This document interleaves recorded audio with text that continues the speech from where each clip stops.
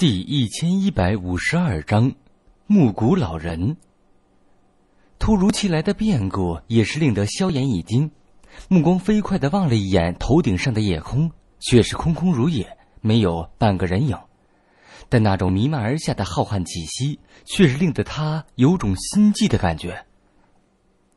是丹塔的人，心中略微放松。萧炎那正在融合的毁灭火莲，却是急忙一颤。然后小心的将之散去，而其脚尖也是一点地面，急速暴退而开。一道轻笑声悠长的传出。轻笑声刚刚响起，夜院之中两道身影便是如电芒一般闪躲而开，一瞬间便是出现在了萧炎身旁，目光惊怒的望着半空中那神秘黑袍人。没事吧？小医仙看了一眼狼藉的小院，灰子双眸冰寒的盯着黑袍人，嘴中有点急切的问道。萧炎摇了摇头，沉声道：“还好，小心一点，这家伙不是寻常之辈。”铁火尊者脸庞有些难看的盯着那神秘黑袍人，冷笑道：“ 呵呵，阁下怎么说也是一名斗尊强者。”怎么竟干一些偷偷摸摸的勾当？现在的小医仙与天火尊者心头无疑是极为的惊怒，看院中的模样，明显是经过了一场大战，而他二人竟然是没有半点觉察，这等保护可是相当的让人感到愧疚啊！神秘的黑袍人身形悬浮半空，阴森的目光透着幽茫的盯着萧炎。他没有想到自己已经这么小心了，还是被丹塔那老家伙发现了。如今自己的行迹已经被锁定，若是再久留的话，恐怕丹塔的强者也会赶来的。玄空子，此事与你丹塔无关，何必多管闲事？黑袍人对着天空阴声喝道：“ 这里是圣丹城。”若是让你魂殿在这里随意撒野的话，我丹塔还如何与人交代？天空上先前响起的那道沧桑声音再度徐徐响起，这一次萧炎倒是觉察到，这声音居然是从虚无空间之中传出的。显然，那说话之人并未赶到这里，而是在使用一种玄异的方法，将气息隔空送到。震慑住那神秘的黑袍人而已。老混蛋！黑袍人咬牙低声骂了一句，然后森然的目光转向萧炎，冷笑道：“哼，算你运气好，一火以及功法便让在你体内多待一段时间。记得，我迟早会来取回来的。”话音一落，其身后的空间瞬间扭曲起来，而其身形也是在扭曲空间中变得若隐若现了起来。见状，小医仙双眸一寒，玉掌之上灰气萦绕，然后猛地化为一道灰气劈练，闪电般的穿透空间，对着黑袍人暴夺而去。嘿嘿，有你二人保护他，我倒的确奈何他不得。但我要走，你们也拦不住我。乔德小医仙出手阻拦，黑袍人也是冷笑一声，屈指一弹，一缕深蓝色的火焰自指尖爆夺而出，然后与那道灰气劈链狠狠的碰撞在一起，各自双双消失。萧炎，我还会来找你的，下次再遇见，必取你的异火与功法。轻易的阻拦下小医仙的恶难毒气，黑袍之下，一对森然目光紧紧的盯着萧炎，旋即其身形一动，便是钻进了扭曲空间之中。空间一阵波荡，其身形便是直接消失不见。萧炎漆黑双眸中也是布满寒意，他能够感觉到此人实力不弱，但如果真的是要彻底拼起来，他也有着信心。对方不会好受到哪里去。该死的！见到黑袍人安然离去，小医仙也是忍不住的一咬银牙，低声骂道：“算了。萧炎摆了摆手，然后目光转向天空，拱了拱手，躬声道：“多谢前辈出手相助。”随着萧炎的音落，天空上星光突然缓缓凝聚，化为一道颇为模糊的苍老光影。沧桑的声音缓缓从中传出：“老夫本体不能抽身，只能分身震慑。此人行迹极为诡秘，你要多加小心。有时间便来丹塔，在那里你会很安全。”多谢前辈了。萧炎再度拱手抱拳，这苍老光影应该是丹塔的强者，甚至说不定。便是那传说中的三巨头之一。故人弟子自然是要多加照料，小心点。玄冥宗对于你的情报也是他们透露给先前那个人的。苍老光影淡淡一笑，星光一阵波动，便是缓缓的消散而去。望着那星光人影消散之处，萧炎也是陷入沉吟。看来老师与丹塔的这些人关系还不错呀。先前那对你出手的是什么人？小医仙偏过头凝视着萧炎，皱着眉头问道：“魂殿的人。”萧炎眼中寒芒夺过，轻声道：“此人灵魂力量玩的出神入化，如此近距离的施展灵魂臂障。”居然是瞒过了我与小医仙。天火尊者脸色凝重的说道。萧炎点了点头，从始至终他都未曾见到那黑袍人的容貌，而且听其声音也是并没有太多的苍老之音，但听其所说却是和药老同时代的强者，按照常理必然也应该是一些老不死的才对。小医仙玉手撩开额前青丝，说道：“他的实力应该比我略强一筹，不过若真是要拼起来的话，却并不见得能真胜过我。不过这玄冥宗的确是个祸害。”萧炎的脸色也是有些冰冷，他倒是忘记了前几天与那群人的冲突。玄冥宗的人大多都是睚眦必报。不可能会轻易的将此事放下，只是没想到他们不亲自出手，反而是将关于他的情报透露而出，借刀杀人，这手段不可谓不狠。明天想办法打听一下玄冥宗那群人的地点，总是被人惦记也不好，这些麻烦总是要解决的。不管他们背景是什么，但既然站到我们头上来了，那我们自然不可能什么都不做。萧炎缓缓的说道：“小医仙微微点了点头。玄冥宗的那些家伙，若真是要自己撞上来，那也就别怪他们刀下不留人了。最让得我忌惮的，还是先前那黑袍人。我们并不清楚他的底细。”萧炎眼眸微微闪烁，片刻后，眼神却是一凝，说道。海心焰也是在此人手中，或许寒风知道一些有关他的消息。心中夺过这道念头，萧炎手掌猛地一握，一个玉瓶便是出现在手中。手指在瓶口一抹，然后一吸，一道虚幻的灵魂体便是极为虚弱的袅袅升起，看其模样，赫然便是寒风。你的海心宴是送给了魂殿中的哪位？萧炎望着虚弱至极的寒风，声音冰冷的说道。听得萧炎的问话，寒风先是一怔，旋即眼眸一阵闪烁。然而还不待他说话，萧炎指尖便是缠绕上无形的火焰，闪电般的对着其虚幻的身体便是刺了过去。别别！我说我说。见到萧炎这般毫不犹豫的狠辣手段，韩风也是一阵后怕，急忙道：“收取我海心宴的是魂殿的一位尊老，人称木谷老人。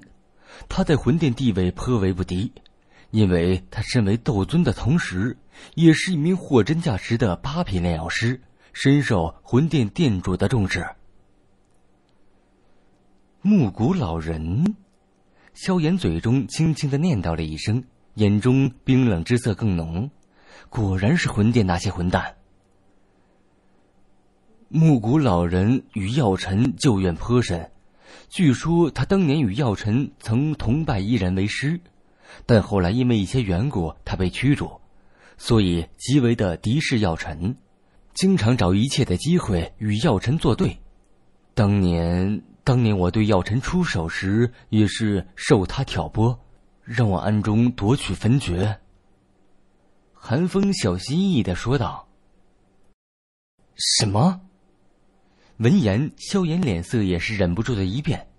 这木谷老人居然还曾经与老师同出一门，为何我从来没有听过老师提起过这件事？萧炎沉声道：“我也从未听他提起过这种事儿，也是木谷老人偶尔与我说起的。”似是生怕萧炎对他下手，寒风当下急忙回道。萧炎缓缓点了点头。如果寒风所言不虚的话，那么先前那神秘的黑袍人，应该便是那木谷老人了。毕竟焚诀这等事，知道的人极少，即便是萧炎的一些亲近之人，也并不知道实情。此人这次没有得逞，想必不会死心的，一定会想尽办法再度出手的。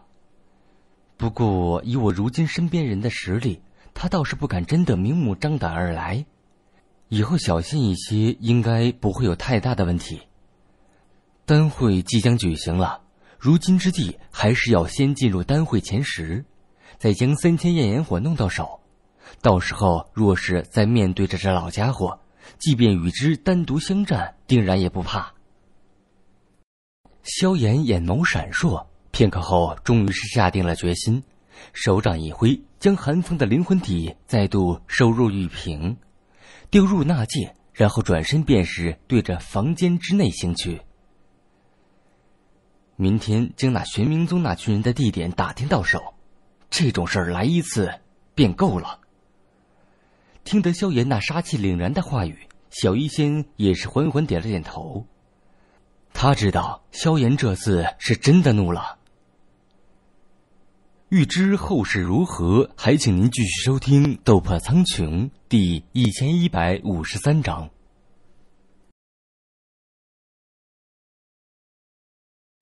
第一千一百五十三章，悬空子。第二天，当萧炎从房间之内行出时，却刚好是见到叶仲正立于院落之中，而当后者瞧得萧炎出来后，也是松了一口气。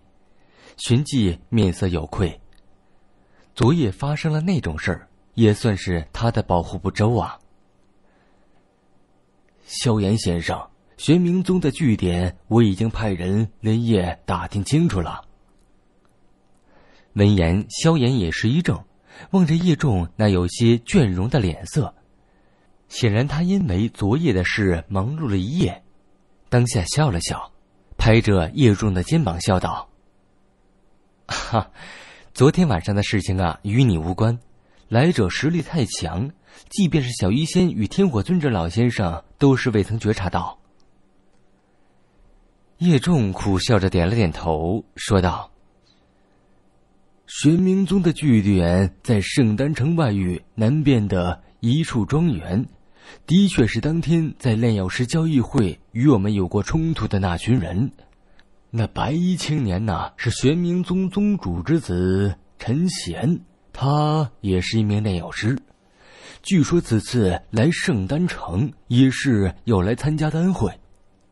在其身旁那位灰衣老者，是玄冥宗凶名赫赫的玄宗者，实力极强。另外陪伴而来的，还有这两名实力接近斗宗巅峰的长老。萧炎眼中凶芒闪烁，微微点头。他本不愿意与这玄冥宗结怨，但对方却偏要惹上来，这便怨不得他下手狠辣了。萧炎先生，你是否打算对他们动手？”见到萧炎这般模样，叶仲迟疑了一下，问道：“昨夜那种事情，一次便够了。”萧炎轻声道。叶仲舔了舔嘴，沉吟了片刻，说道：“我觉得此时对他们出手，并不是最佳时机。这里毕竟是圣丹城，而那陈贤也是通过了丹塔的认证的炼药师。”若是要对他们下手，难免会引起丹塔的注意。而且那陈贤身旁也是有众多强者，若是要下手的话，除非是神不知鬼不觉，或者将他此行的所有人尽数解决，不然一旦有所遗漏，必然会引起玄冥宗的震怒，到时候麻烦不小。毕竟在玄冥宗的背后。还有着天明宗这等庞然大物，那叶仲长老的意思是：难道将昨天晚上的事情当做什么都没有发生吗？萧炎眉头微皱，说道。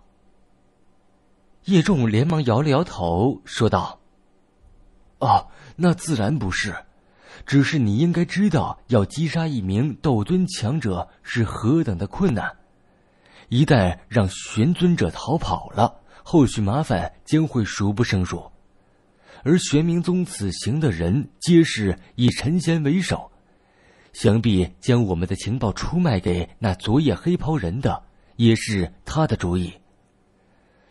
丹会即将举行，而在丹会中，所有通过选拔的参赛者都会进入一处特殊区域，那里将会是你最好的动手的地方。那一处区域，每一届的丹会都会有着不少人永远的留在那里，所以，即便是那陈贤真的是在那里面出了什么意外的话，即便是玄冥宗也是难以追查。闻言，萧炎的眉头方才略微舒展，叶仲所说的话也并非是完全没有道理，玄冥宗不会比冰河谷难以收拾。更何况，在其身后还有个更加强悍的天明宗，一旦泄露的话，怕又是将会引上一些不必要的麻烦。如今他已经是招惹了魂殿，若是再多一些其他势力的话，那势必会令得他的情况雪上加霜。丹塔的圣长老已经在夜院了，他这么早便是赶了过来。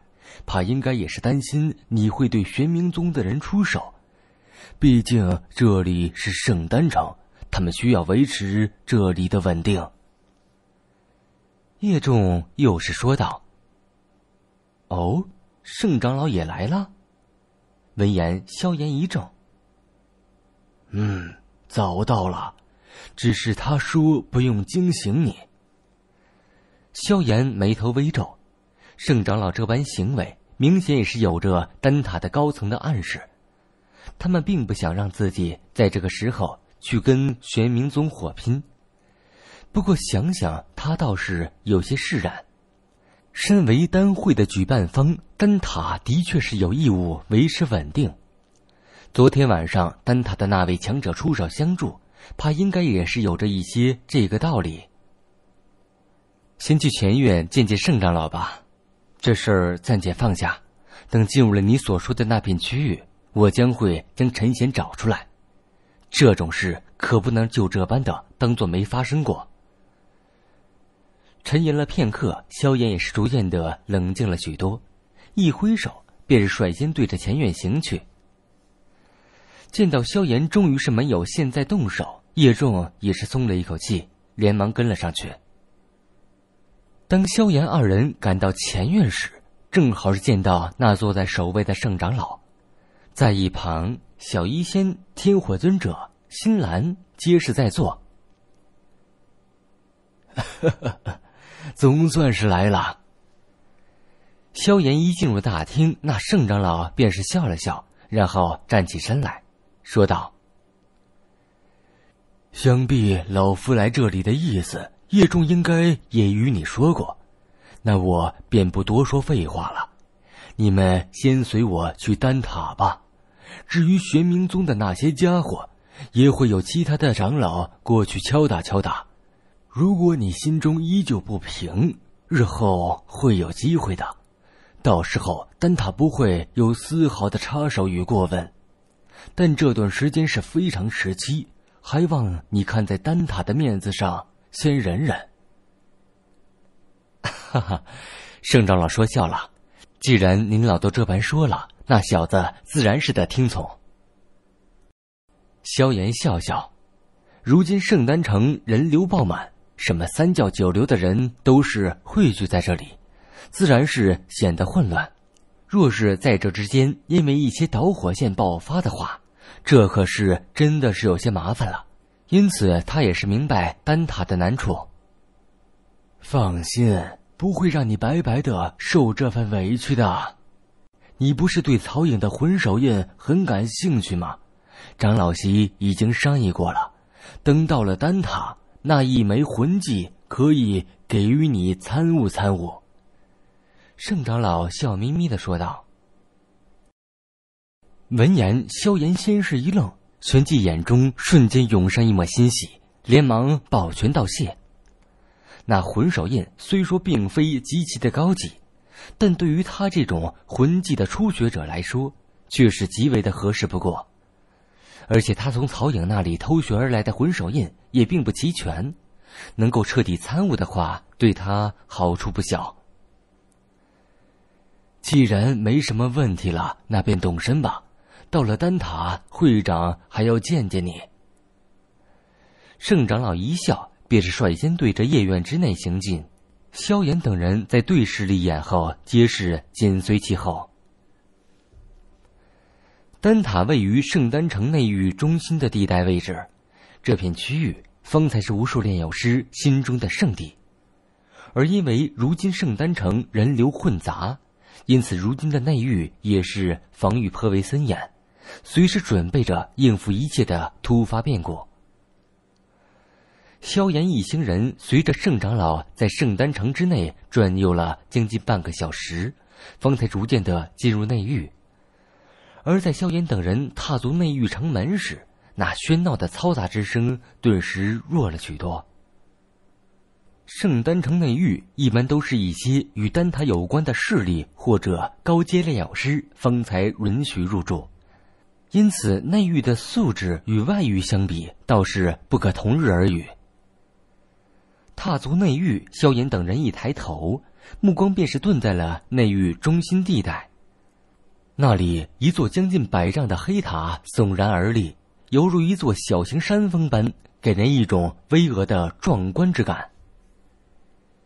巨塔的塔尖深入云层，一眼望去几乎是望不见顶，云雾萦绕间显得异常的神秘。那便是丹塔吗？望着那如青天之柱一般的黑色巨塔，饶是以萧炎都是忍不住的满脸惊叹之色。与这丹塔相比，当日在风雷阁所见到的雷塔，简直就是如同巨汉脚下的小孩子一般。圣长老笑着点了点头，带着萧炎一行人汇入大街之上的人流，径直对着丹塔行去。有着圣长老带领，萧炎一行人倒是极为顺利的通过了那严格的重重审查，进入到了那庞大的丹塔之中。进入丹塔，圣长老先是将小医仙等人安顿好，然后方才带着萧炎直奔丹塔高层。许久之后，方才在一间极为宽敞的大殿之外停下了脚步。悬空会长在这里。他与你的老师药尘当年是好友，见了他，你可得尊敬点儿。听得圣长老的提醒，萧炎也是面色一肃，点了点头。见状，圣长老方才略感放心，整了整衣衫，上前两步，恭敬的推开殿门，然后对着萧炎使了个眼色。萧炎微微点头，缓步走入。大殿之内被众多的书架所布满，看上去有种凌乱的感觉。大殿之中布满着诸多色泽不同的火焰，五颜六色的火焰交织下，显得有种梦幻般的迷离之感。萧炎脚步轻轻的落在石板上，目光一阵扫动，片刻后蹲在了一处书架前。那里，一名身着白衣的老者正在小心的清扫着书架上的尘埃。这名白衣老者浑身没有半点气息的溢出，整个人呐就如同是一个极为普通的老者一般。但在萧炎使用了灵魂感知时，却是惊骇的发现，面前一片空空如也，那白衣老者仿若并不存在。呵呵呵，你便是萧炎吧？那个老家伙的眼光还是一如既往的让人羡慕啊！在萧炎恭敬的站于老者身后不远处时，白衣老者也是停止了手中的动作，沧桑的声音在大殿之内悄然响彻。欲知后事如何，还请您继续收听《斗破苍穹》一千一百五十四章。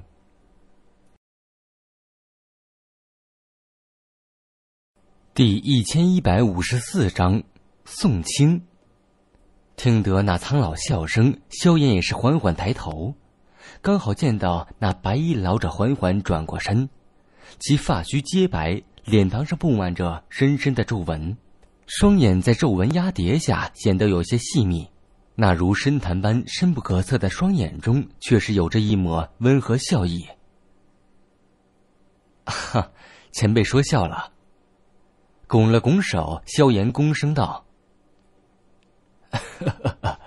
我可不是说笑，如此年龄便是达到了七品高阶炼药师的层次。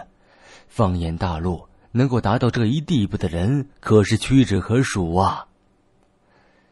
白衣老者目光在萧炎身上来回扫视了一圈，温和的说道：“老夫玄空子，若是不嫌生的话，可以称我一声玄老。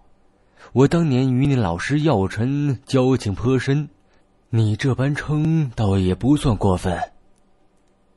啊，既然如此，那小子便恭敬不如从命了。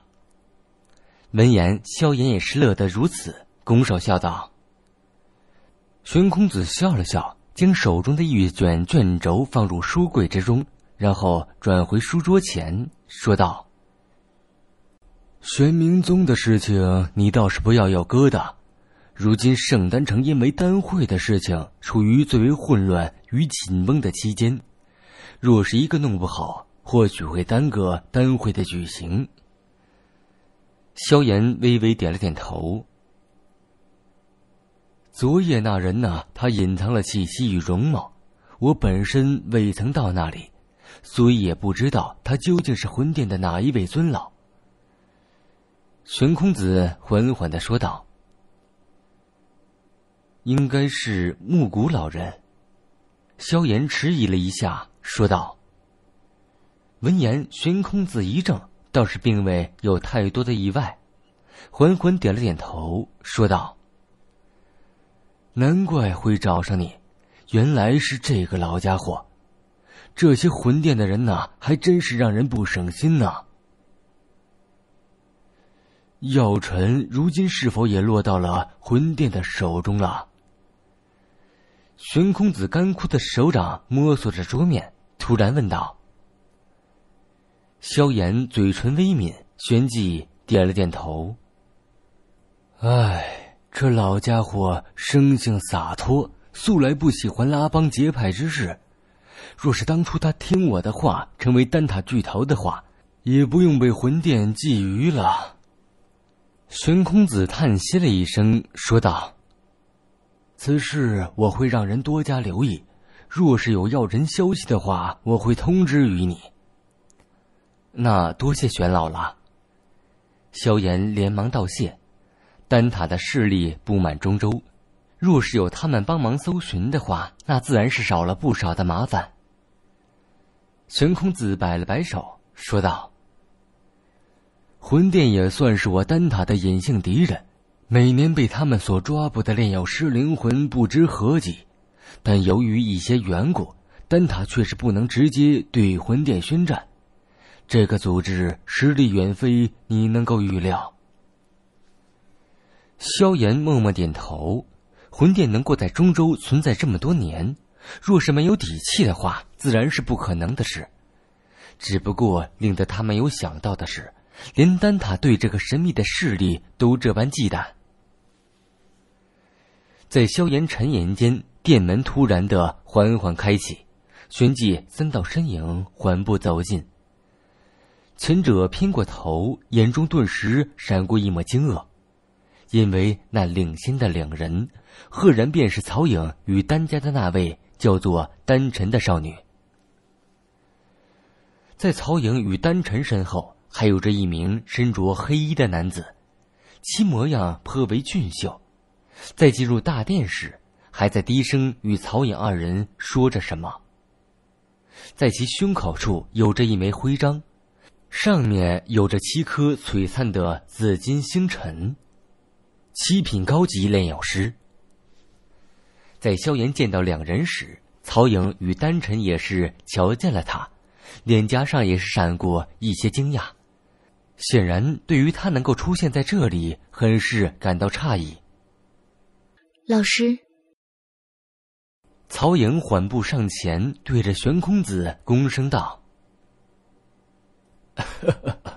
你们三人也都来了吗？玄空子抬起头，冲着三人笑了笑，然后目光转向萧炎，说道：“这位便是此次五大家族考核的冠军萧炎，想必你们都早已经知道了。怎么能不知道？萧炎先生最近可是在圣丹域被传得沸沸扬扬呢。”曹颖掩嘴娇笑道：“那股妖娆妩媚的风情，令得一旁的那位黑衣男子眼中夺过些许令人难以察觉的火热。”对于曹颖这段话语，萧炎也不在意，只是礼貌性的冲着三人笑了笑。我叫宋清，早就听说过萧炎先生在五大家族考核上的表现了，今天所见果然名不虚传。那名黑衣男子缓步上前，对着萧炎伸出了手来，含笑道：“萧炎微微一笑，虽然面前的黑衣男子隐藏的很好，但他还是从对方眼中瞧出了一抹淡淡的敌意，而这敌意的来源处，似乎便是一旁的曹颖。哼，这妖女呀，果然是祸国殃民的主。”对于这般发现，萧炎也只能在心中苦笑一声。他什么都没说，便是莫名其妙的引来一些敌意，当真是令他有些无语啊。萧炎先生，宋清可是丹塔大长老的弟子，而且也是丹殿中最为年轻的长老，以后说不定还能成为丹塔有史以来最为年轻的八大长老，本事可一点都不比你弱哦。曹颖眼波流转，嫣然笑道：“听得曹颖所说，那宋晴脸庞上倒是没有什么变化，但眼中却是夺过一抹淡淡的得意之色。以他这般成就，倒也的确有着自傲的资本。果然是名师出高徒啊！”萧炎笑笑，并未多说什么。曹颖这妖女性格诡异莫测，若是不小心的话。还真会被他给耍得团团转，以他的性子，也并非是那种喜欢围着女人转的人。即便这曹颖不是寻常女人。好了，既然都已经认识了，那我便说说叫你们来的目的。玄空子微微一笑，目光缓缓的在几人身上扫过，他的目光仿佛能够洞穿人心一般。即便是以曹颖那妖孽般的性子，在他面前都是显得相当乖巧。丹会选拔还有几天时间，便是将要举行了。这一次的丹会，因为三千焰炎火的关系，吸引了不少势力前来，这其中便是包括魂殿的人。玄空子声音平缓的说道：“魂殿。”闻言，曹颖三人皆是眉头微皱。萧炎眼眸微微闪烁，并未答话。是魂殿，由于长期封印三千焰炎火的关系，导致他对丹塔颇为怨恨。若是被释放而出的话，必然会对丹域进行报复性的攻击，到时候损失必然极大。这三千焰炎火经过无数年的岁月，灵智已经相当不弱，再加上其野性难驯，我丹塔用尽一切手段都是未曾让他屈服。而且由于这些年他逐渐吸收星空之力，我们的封印已经有一些逐渐的束缚不了他了，所以必须尽快将这些麻烦解决。魂殿此行或许是想要将三千焰炎火收入囊中。当然，如果一旦收取不成功，那么他们便是会摧毁封印，释放三千焰炎火。如此一来的话，丹塔必将损失惨重，到时候也方便他魂殿来收取灵魂体。三千焰炎火威力极强，虽说在异火榜上它排名并未进入前五，但其能力却是足以进入此行列。因为星空之力凝聚的缘故，三千焰炎火相当于不死之身，所以即便是我们也只能将之封印，而不能将其击杀。谁若是得到了三千焰炎火，并且将之收服，那么必也将会拥有着无比强大的恢复力。这种异火若是落在魂殿手中，必然将会是极大的麻烦。而将你们叫来，也正是因为如此。我希望你们能够阻止魂殿得到三千焰炎火。望着玄空子那凝重的脸色，大殿内也是陷入了一阵寂静。片刻后，萧炎皱眉问道：“既然如此担心魂殿，为何不直接禁止他们参加呢？”首先，我们并不知道参加丹会的炼药师究竟有谁是魂殿的人，而且即便知道了，也并不能以任何的理由禁止，因为这是丹塔历代的规矩，只要是炼药师，并且具备了参赛资格。即便真的是丹塔的敌对势力，也不能取消他的资格。这规矩虽然令人头痛，但也正是因为丹塔那包容之举，方才令得丹塔逐渐的成长到今天这一地步。所以有些规矩是不能碰的。玄空子有些无奈的道。闻言，一行人方才缓缓的点了点头。萧炎本身便是与魂殿势不两立，而且三千焰炎火也是他必得之物。对于这种事，他自然是不可能会有什么反对意见。还有七天时间，便是丹会选拔开始。这段时间，你们尽量的待在丹塔之内。魂殿为了得到丹会冠军的位置，说不定会暗中使用手段，所以你们也要多加小心。玄空子嘱咐道：“萧炎等人再度点头。嗯，事情大概就这些。现在你们唯一所需要做的，便是静等丹会的开始。”玄空子笑了笑，温和的目光转向萧炎，随手从桌上取过一卷卷轴，甩向后者，说道。听说你对颖儿的魂手印挺感兴趣，拿去好好看吧。虽说这魂手印在魂技不算太过高阶，但在外界也算是极为稀罕之物。接过卷轴，萧炎的眼中也是夺过一抹欣喜之色，连忙抱拳道：“多谢玄老了，哈哈小事而已。”玄空子笑了笑，然后对着众人挥了挥手。见状，萧炎等人也就不再多停留，躬身行了一个礼，然后便是徐徐退出大殿。望着众人退出，玄空子方才微微一笑，轻声道：“药尘，我们当年的那场赌约，便得看萧炎和颖儿谁能够取得这一届丹会的冠军了。不知道这一次你还能否胜我？欲知后事如何，还请您继续收听《斗破苍穹》第一千一百五十五章。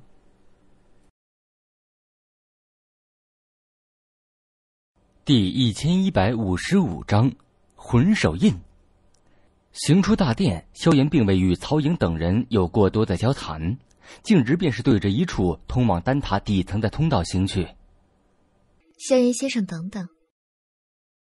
萧炎脚步刚刚踏出，一道妩媚动人的娇声便是在身后响起，因此他那踏出的步伐只能顿下，偏过头望着曹颖那张妖娆动人的脸颊。笑道：“曹颖小姐有事吗？”曹颖眼波流转，顾盼间妩媚天成，有种令得人移不开目光的冲动。此刻的他正掩嘴轻笑道：“上次与萧炎先生并未深谈，如今有时间，何不一起聊聊？”听得曹颖居然开口邀请，萧炎眉头一挑。目光不着痕迹的扫了一旁的那宋清一眼，果然是见到他眉头轻轻的皱了皱。哈，算了，我还有要事在身，以后若是有时间再与曹颖小姐聊吧。初来丹塔，萧炎并不想多树敌，特别还是因为争风吃醋那种事招来一些敌视，因此微微一笑，回道：“见到萧炎拒绝了自己的邀请。”曹颖流转的眼波也是微微一顿，显然被拒绝这种事对于他来说颇为的少见。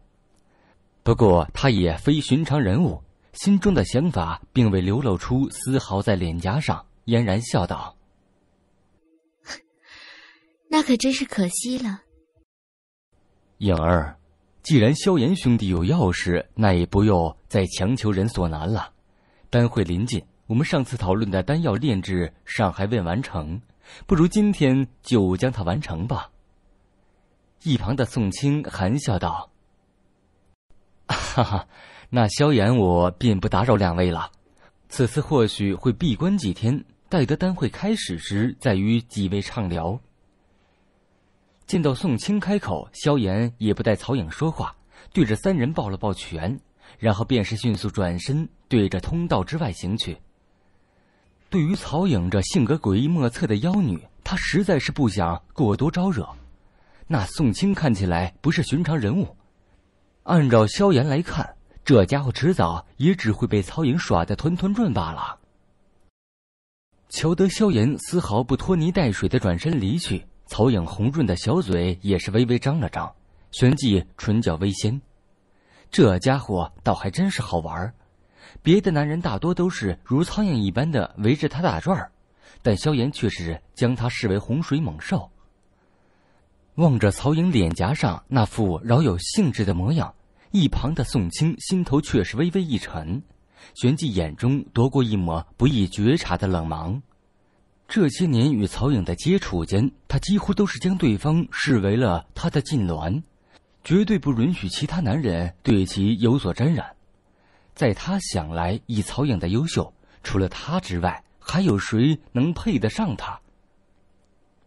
即便萧炎成为了五大家族考核的冠军，但这却并不足以彻底的让宋清正视。不论背景还是天赋、实力等等，他皆是有着傲视同辈之人的资格。按照他的继续发展，日后定然会是丹塔的权势人物。甚至此次丹会，他若是得到了冠军的话，丹塔巨头候选人之位也是将会有他的名字。到时候，什么女人不会到手？萧炎，希望你不会成为我的拦路石，不然的话。宋清目光望着萧炎背影消失的地方，眼中隐隐有着寒芒闪过。萧炎自然是不知道，即便是他退避的快。依旧还是引来了宋清的敌视，而且即便是真的知道了，在无奈之余，他也只能暗骂一声“蠢货”。顺着来时的路，萧炎在那如同庞然大物的丹塔之内转悠了将近一个小时，方才回到圣长老安排的住所。这丹塔之内人流也是颇为不小，而且全部都是属于丹塔的炼药师，其中不乏一些真正的大师级别人物，说之是卧虎藏龙也不为过。回到住所，萧炎在与小医仙等人打了声招呼后。便是钻进了自己的房间，盘坐在房间的床榻上，萧炎略作调息，手一握，一卷淡灰色的卷轴便是出现在了其手中，正是先前玄空子送给他的东西。缓缓摊开卷轴，一股无形波动从中散发而出，这股波动萧炎极为的熟悉，正是灵魂印记所散发而出的。摊开卷轴，上面并没有半点字体，有的只是一些略显扭曲的无形皱褶。见状，萧炎略一沉吟，便是握着卷轴，然后轻轻的贴在额头之上。卷轴触着额头，无形波动立刻暴涌而起，旋即萧炎便是觉察到一股信息，如同潮水一般的涌进脑袋之中。待得信息的涌入完毕之后，萧炎方才轻放下卷轴，沉入心神，开始整理着那股有些奇异的信息流。整理持续了好半晌，萧炎微闭的眼眸方才徐徐睁开，眼中光芒微微闪烁。那股信息流正是曹颖所修炼的那套魂技，这东西名为魂手印，又称魂印，在远古时代。魂技与斗技一般，皆是分为天、地、玄、黄四阶，而这魂手印则是一种玄阶高级的魂技。虽说并非极其的高阶，但也算是颇为不错。而它的威力，当日萧炎也已经亲自领教过。而且这东西不同于斗技，由于如今魂技的稀少，与人相战时能够起到出人意料之效。当然，最主要的是，是这魂手印能够让的萧炎逐渐的明白如何最大化的施展灵魂力量，而不用再类似以前那般依靠着最单纯的灵魂力量的强横程度来与人对抗。魂手印分三印，萧炎仅仅从曹颖那里偷学到了第一印，后面两印却是再无办法偷学。不过好在如今这卷轴上有着完整的记载。这便是魂技吗？果然是与斗技的施展方式有点不同啊。萧炎沉思许久，如果说只有一些少数的斗技会需要特定手印的话，那么这魂技的施展，则是必须需要手印的配合，而且在手印变动间，灵魂力量也是需要以一个特定的轨迹伴随着手印的变动而汇聚。但所谓万法归宗。这魂技与斗技大致上也是相仿的。深吸了一口气，萧炎心神逐渐凝聚，而其手掌也是缓缓探出，然后开始按照脑海之中的那些印诀，开始缓缓的变换着。萧炎的手印转变的颇为缓慢，但其却是一脸的认真之色，眉心间的灵魂力量也是徐徐涌出。然后配合着手印的变化而凝聚着。房间之中，萧炎不厌其烦的施展着一遍又一遍的手印。这种修炼虽然枯燥，但却是必须的。毕竟，不管是修炼魂技还是斗技，想要彻底的将之掌握，也是唯有勤学苦练一途。时间在萧炎沉神修炼间迅速流逝，但随着他不急不躁的结动着手印。其掌心处凝聚的能量波动也是越发的熟练。魂之极，必守天灵，纳灵断魂。在萧炎心神完全沉寂时，一道极为细微的呢喃声，也是仿若不受他控制般，悄悄的在其嘴唇蠕动间轻轻传出。在这无名口诀之下，房间内的空间也是微微波动。旋即一缕缕极淡的灵气悄然的从空间中渗透而出，然后徐徐的钻进萧炎眉心之处。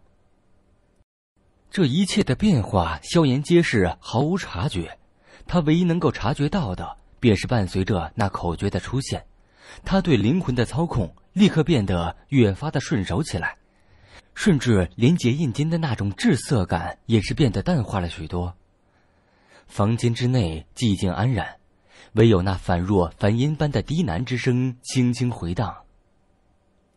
时间如流水，萧炎并不知道。他这一修炼便是将近十天时间。十天内，由于丹会的即将举办，也是导致圣丹城的人流量处于了膨胀状态。这般辽阔的地域，随处皆是可见无数人流。人流膨胀了，自然少不了麻烦。不过好在丹塔并非寻常势力，因此对于秩序也是维护的颇为完善。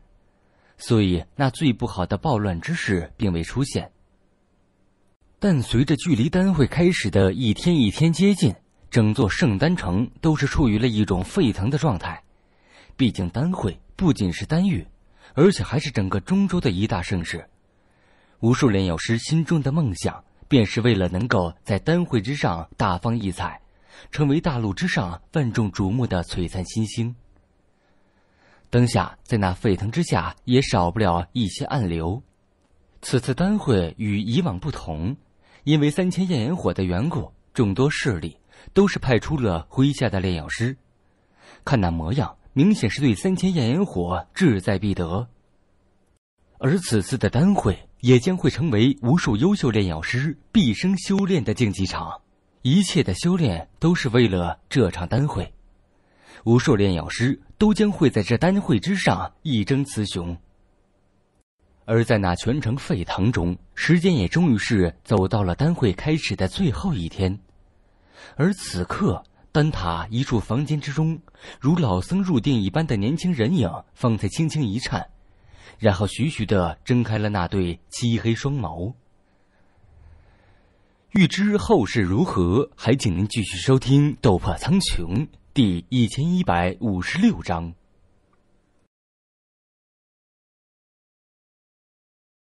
第一千一百五十六章，班会开始。安静的房间伴随着萧炎眼睛睁开的那一刻，猛然间泛起一股奇异的无形波动。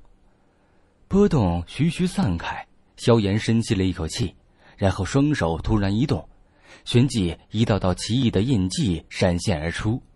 舞动之间，甚至带起了道道残影。而随其手印变化，萧炎掌心之处，无形的灵魂力量闪电般的汇聚而来，眨眼时间便是凝聚成了一道无形的掌印。掌印一成，萧炎屈指一弹，便是将之散去，旋即继续变动手印，紧接着又是两道更加繁琐的无形手印浮现而出。三道各自不同的掌印在萧炎手中承接的极为完美，接洽之间几乎是无迹可寻。这般熟练程度，居然丝毫不会比曹颖当天施展时弱。三道灵魂掌印浮现，最后皆是被萧炎悄然散去，而一口浊气也顺着喉咙喷吐而出。浊气吐出，萧炎的脸庞泛起了一阵淡淡的阳光，宛如温雨般。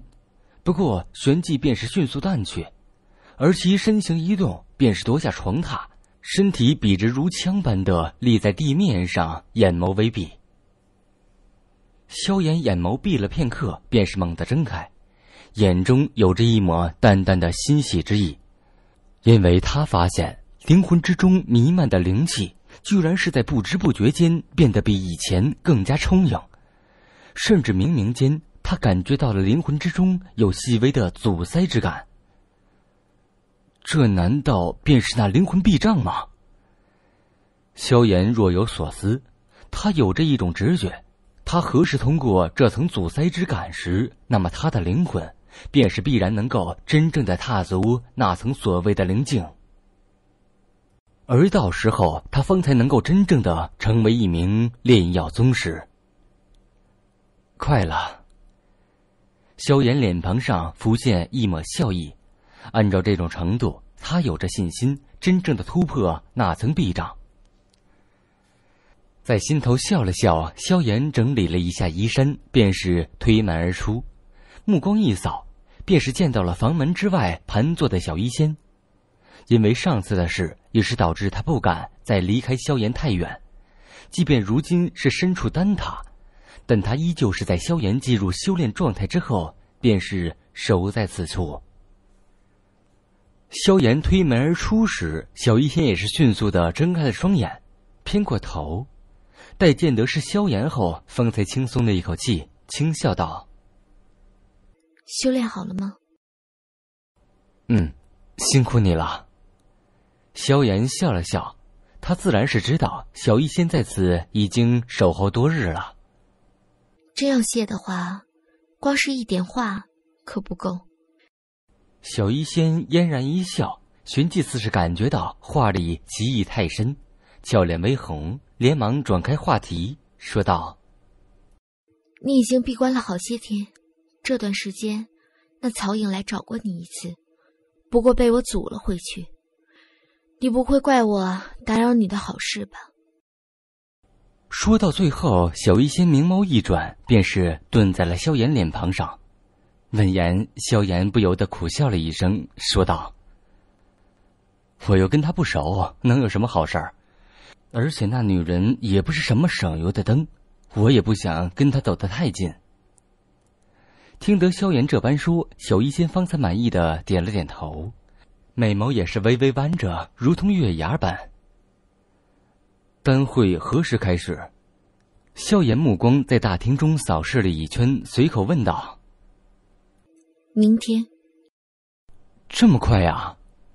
萧炎顿时惊了惊，没想到这时间过得这般快，一转眼便是到了丹会开始的时候。你若是今天不自己醒的话，再晚点儿我也会进去将你叫醒。”小医仙微笑道。萧炎微微点头，旋即眉头微皱，说道：“我上还有一株药材未曾凑齐，看来今天必须想办法将之弄到手了。”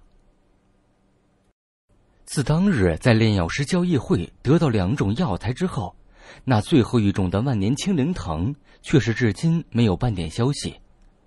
如今丹会在即，倒是令得萧炎有点措手不及了起来。毕竟，若是少了这么一味主药材，那便是不可能真正的将丹药给炼制出来。丹药的事情可不需要你来操心。在萧炎皱眉间，大厅大门却是被突然推开，旋即叶仲、新兰、天火尊者三人缓步而进。叶仲笑眯眯的来到萧炎身旁，手一晃。几个渗透着寒气的玉盒便是出现在了面前的桌面上，说道：“这里有两株万年青灵藤以及一枚血晶妖果，加上你本来拥有的那些药材，便是刚好能够凑齐两副。炼制丹药时，即便失败了一次，也是能够有第二次的机会。”闻言，萧炎先是一怔，旋即急忙抓过玉盒，掀开盖子。果然是见到里面躺着一株浑身碧绿、如同翡翠一般的树枝，浓郁的生机从中弥漫而出，令得闻者有种心旷神怡的感觉。果然是万年青灵藤，这些东西你如何弄到手的？萧炎脸现惊喜，旋即有些疑惑的问道：“这些东西可不是寻常之物。”即便是以叶家的底蕴，都是拿不出来。但如今的突然间，便是拿出了两株万年青灵藤，以及一枚血晶妖果，这倒是有些奇怪了。哈哈，这可不是我们弄到的，我只是与丹塔一位长老提过一下你需要的这些药材，第二天他们便是主动将这些药材送过来了。叶仲笑着说道。萧炎愣了愣，旋即恍然，这之中必然是有着玄空子的命令，不然以他的名气，还不可能让这丹塔这般重视对待。在心头对着玄空子道谢了一声，萧炎也没有过多焦作，手一挥，便是将面前的药材收入纳戒。如今这是他所需要的东西，自然不可能拒绝，就当是成了玄空子这个人情了。日后有机会还他便是。这一届参加丹会的人数，恐怕会是有史以来最为浩大的一次。听说如今的内域已经被无数参赛者占满了去，这其中不乏一些成名的老怪物。看来为了三千焰炎火，他们也是打算厚着脸皮来凑一凑了。叶仲对着萧炎说道。听得叶仲这话，萧炎微微点头。他早已经知道这一届的丹会必然不会轻松，甚至连他都是未抱着。非要取得冠军的念头，毕竟这难度实在是太大，一切都是只能尽力而为。不过，若是有机会的话，倒真是要与这天下群雄争上一争。老师当年便是一届丹会的冠军，作为他的弟子，我怎么也不能弱了他老人家的名头不是？萧炎嘴角轻掀，漆黑眸中却是夺过些许难以掩饰的炙热。不过他在如何的冷静，但毕竟还是年轻人，年轻人特有的热血与执着，也同样是流淌在萧炎的骨子之中。望着萧炎脸庞上的那抹笑容，叶仲等人对视了一眼，皆是一笑。这一届的丹会，看来真的是有好戏看了。而且说真的，他们也是极为的好奇，萧炎这头猛虎在这次的丹会上。能否真正的遇见能阻拦下他脚步的劲敌？此次丹会必将会是真正的龙争虎斗。第二天，当第一缕晨辉从天际倾洒而下，刺破笼罩大地的夜色时，整座圣丹城都是在此刻瞬间沸腾。今天，圣丹城将会是真正的万众瞩目。整个中州的目光都是汇聚在此处，等待着那能够矗立在最后一刻的人出现，而能够从这来自斗气大陆各处的炼药天才中脱颖而出，那个人无疑将会是真正的天之骄子。每一代的丹会冠军都曾经在斗气大陆的历史上留下过赫赫威名，无一例外。也正是因为此，丹会的含金量方才会被无限倍的放大。谁能够成为那最后的冠军，那么未来的斗气大陆历史必将会为其添上显赫的一笔。这份荣耀足以让任何人为之疯狂。毕竟人活一世，谁也不想成为那庸碌众生。灯塔内的一处房间，房门突然缓缓打开，一道消瘦的身影缓步而出。然后出现在了早已等待在门外的小医仙等人视线之中。今天的萧炎身着一套丹塔特配的紫色炼药师袍服，在其胸口处有着一枚丹塔颁发的等级徽章，徽章上七枚紫金星辰闪烁着璀璨的光泽。这身衣服算是萧炎这些年中穿的最为郑重的一次，由此也能够瞧出。这丹会在炼药师心中的地位。望着那一身炼药师袍服，看上去居然显得透着一分洒脱俊逸的萧炎，小医仙明眸中也是夺过一抹笑意。他也是第一次见到萧炎这般郑重的穿着，不过不得不说，现在的萧炎呐，外表倒是显得颇为不错。萧炎理了理衣袍。然后望着面前的小医仙等人，微微一笑，说道：“走吧。”话落，他率先移动脚步，对着大厅之外行去。其后，小医仙等人相视一笑，皆是跟了上去。丹会，这无数炼药师心中最为崇高的大会，终于是在今天拉开了他那令得众多炼药师为之倾慕与疯狂的帷幕。而为了这一天，萧炎等了三年时间。东风已到，只待风云动。欲知后事如何，还请您继续收听《斗破苍穹》第一千一百五十七章。第一千一百五十七章：两大关卡。灯会的举办地点位于内域的北区，而那块地方早在几天之前便是被那可怕的人山人海所占据。因此，当萧炎等人赶到此处时，却是只能见到那密密麻麻、见不到尽头的人头海洋，震天的喧哗声冲天而起，最后化为恐怖的声浪扩散开来，方圆百里之内都是能够清晰可闻。萧炎一行人闪躲在一处建筑物上，举目四望，方才发现，这片地域是一块将近千丈庞大的广场。在广场的半空中，居然凭空悬浮着诸多石台。这些石台隐隐有着光芒弥漫而出，看上去颇为的神异。那些石台便是参赛者最后的席位。叶仲指着那些悬浮在半空中、受万众瞩目的石台，笑着说道：“最后的席位。”闻言，萧炎眉头一挑：“ 哈哈。”丹会极其的盛大，不可能只要参加了大会者便是有资格登台。在进入场中之前，严格说来，还有着两大选拔的关卡。叶仲笑了笑，然后指着那庞大的、仿佛无边无际的广场，说道：“看见远处那片深灰色的空间了吗？”萧炎目光顺着叶仲所指望去。果然是见到一片深灰色的空间，而待得他仔细查看，方才发现，那片空间是被人生生的扭曲而成，而在那扭曲空间内，充斥着一种能够阻拦人视线的深灰色气体。丹会参赛最为基本的资格，便是要求达到五品炼药师层次，而那深灰色的空间便是第一关。也是名为炫境关卡，那种深灰色气体是一种名为幻魂兽的魔兽体内滋生而出的，不仅能够遮掩人视线，而且还能对灵魂探知造成一定的阻碍。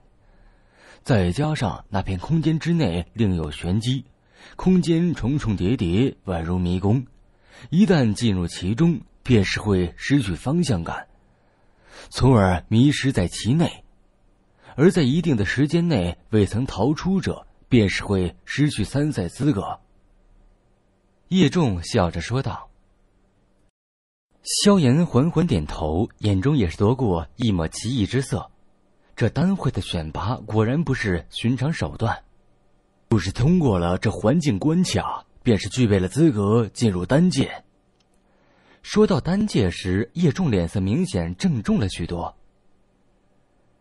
我前些时日便是与你说过，丹会开始后，所有的参赛者都会进入一片奇异之地，而这奇异之地便是丹界。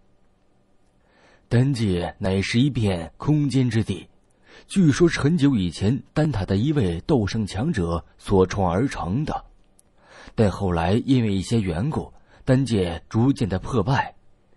不过那丹界。可绝对是无数炼药师梦寐以求的宝地，那里面有着无数的天材地宝，以及诸多外界难寻的罕见药材。而有资格进入其中的炼药师会被分配到一张单子，单子上记载着一些珍稀药材，而你们则是需要依靠自己的能力，在那丹界之内将这些药材尽数弄到手，然后方才能够在出口的地方。换取一枚空间石，从丹界出来参加那最后的比试，而天空上的那些石台，则是为这些闯入最后一关的成功者所设，并非是所有的人都有资格上去。叶仲缓缓的说道：“不愧是丹会。”萧炎轻轻点头，赞叹了一声。经过这两层的选拔。便是能够将那些滥竽充数者尽数剔除，而最终经过选拔遗留而下的，便是此次丹会的真正精锐。丹界之中所发生的事情，丹塔一般情况不会插手，而且只要做的神不知鬼不觉的话，谁也不会知道。虽说这种选拔颇为的严格，但现实远比比赛无情。若是连这种考核都通不过，还如何在大陆之上立足，并且成为真正的炼药宗师呢？所以，若是你在丹界中遇见玄冥宗那陈贤的话，尽管的动手便可。叶仲微微一笑，轻声道：“萧炎笑了笑，漆黑眸中却是寒芒闪动。那陈贤将他的情报卖给魂殿的人，这恩怨……”可不得不解决一下。在萧炎二人谈话间，一道清脆的钟吟之声突然的在这片天地间响彻而起，钟吟声浩浩荡荡的扩散而开，那震天的喧哗声都是被其压制而下。钟吟声响起，这片天地也是变得安静了许多，无数道目光唰的一声停留在了广场东面那石台上。那里将会是丹塔高层出现之地，而就在钟吟声响起不久，一阵阵破风声突然响起，旋即那石台上的空间微微扭曲，十几道身影缓缓浮现而出。萧炎的目光扫过那十几道人影，然后便是顿在了最中间的三道人影身上。三人中有一人，萧炎已经见过。正是那位丹塔巨头之一的悬空子，而在其左右两侧，也是有着两名丝毫感觉不到气息存在的人。其左侧那位老者皮肤颇为黝黑，其脸庞绷得紧紧的，有种不苟言笑的严厉感觉，双目如电，刺得人灵魂生疼。左侧的那位呀，倒是让的萧炎感到很是诧异，因为那是一名身着旗袍的美妇。虽然萧炎能够肯定她年龄绝对不会比玄空子二人小，但那容貌却是与三十岁左右的女人相仿，其神色淡然，隐隐间有着岁月沉淀的韵味。黝黑老者以及那美妇，萧炎是头一次见到，但从这两人能够与玄空子并列的位置来看，很显然，这两个人应该便是丹塔的另外两位巨头。这三人一出现，这片天地都是变得安静了许多。望不见尽头的人山人海中，无数道噙着各种情绪的目光，皆是汇聚在了这三人身体上。灯塔三大巨头，这名头莫说中州，即便是放眼斗气大陆，也算得上是真正的声名赫赫。这三个人一般都是存在于传说之中，如今突然露面。倒是让得无数人有种难以置信的感觉。老夫玄空子在此代丹塔再次欢迎所有来到此处的炼药师。接下来的十日，这里将会是你们大展拳脚的舞台。一头白发的玄空子缓步而出，温和的声音在在场的所有人耳边响彻而起。全场寂静无声。不管是再如何桀骜不驯的凶悍之辈，在这种时刻都只能收敛煞气，不敢有丝毫的顶撞。毕竟那石台上的三人，距这片大陆上的顶峰存在也并不远。诸位为了丹会万里迢迢赶来，老夫也就不在这里浪费时间了。丹会还是一如既往，分为三个步骤。第一。萧炎安静的听着玄空子对丹会的选拔的介绍，果然发现与叶仲所说大致相同。显然，这般规矩是历代丹会的标准形式。只要通过这三项选拔，最后依旧屹立者，便将会成为本届丹会的冠军。悬空子望着那被“冠军”二字激得有些涟漪的人海，不由得淡淡一笑，说道。本届冠军不仅能够获得丹塔巨头候选者的名额，而且还能得到一卷远古的灵魂修炼之法，日后踏足八品甚至九品层次指日可待。玄空子此话一落，那密密麻麻的人海之中顿时响起惊天哗然之声，无数炼药师在这一刻眼睛都是血红了起来。八品、九品，这等近乎传说中的层次，与他们之间仿若天地之别。但若是得到那卷远古的灵魂修炼之法后，那距离便是将会被无限倍的拉近。这对于所有炼药师来说，都将会拥有致命的吸引力。对于这种诱惑，即便是萧炎都是无法抵御。所以在玄空子化落后，他的呼吸也是悄然间变得粗重了许多。云谷的灵魂修炼之法有多罕见与珍贵，他再清楚不过。那等宝物用无价之宝来形容，丝毫不为过。这冠军之位，不论怎么样，我都是要去搏上一搏。萧炎拳头紧握，漆黑眸中夺过一抹炙热。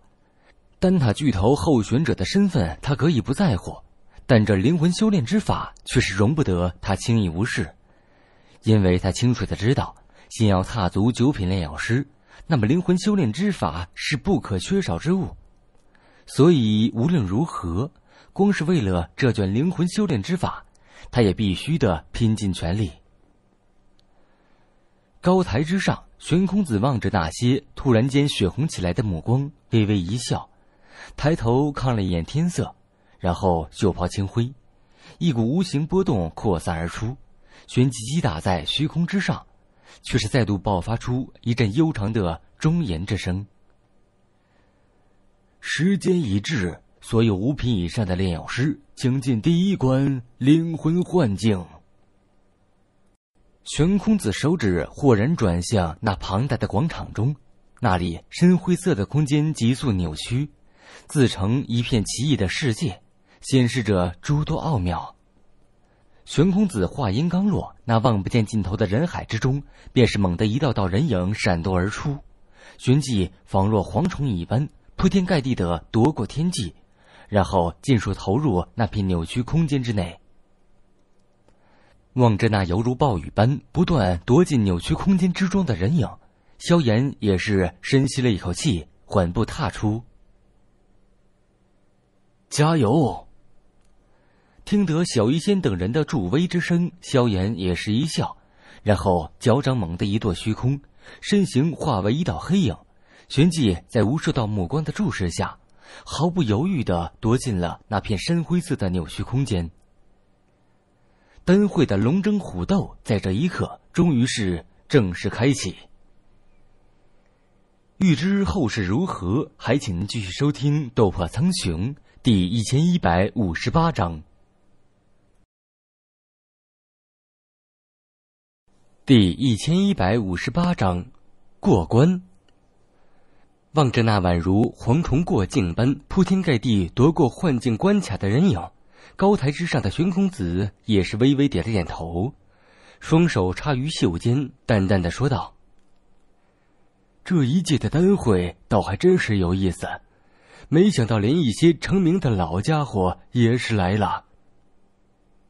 三千眼炎火远非寻常异火可比，对于这些老家伙也是拥有着不小的吸引力。他们自然是要来凑凑热闹。在玄空子身旁，那名皮肤黝黑的老者抬了抬眼，凌厉如电芒的目光在那些夺进幻境关卡的人影之上扫过，说道。后浪推前浪，现在的一些年轻一辈可不比他们弱。即便他们出手了，怕最后也只能是灰头土脸。